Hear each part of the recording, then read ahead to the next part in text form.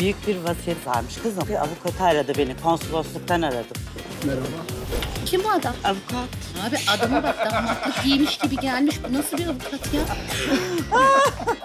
Yani ve çok komiksin.